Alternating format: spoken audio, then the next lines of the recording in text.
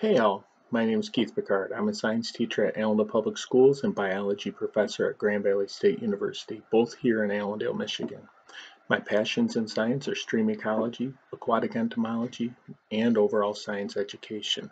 I love being able to go into streams so I can sample aquatic invertebrates that live there, then use those invertebrates to tell, number one, the quality of the water, number two, how food enters into the water and then gets metabolized and processed as it moves downstream.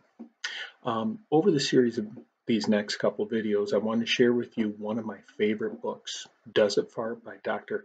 Nick Caruso and Dr. Dani Rabaiotti.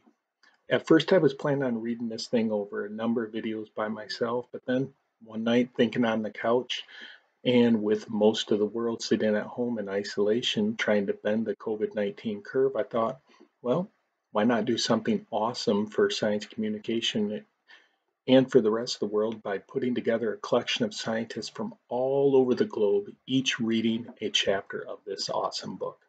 So each new episode is going to feature a new scientist who's going to give you a quick talk about the type of research they do and then read to you one of the chapters of the book, Does It Fart?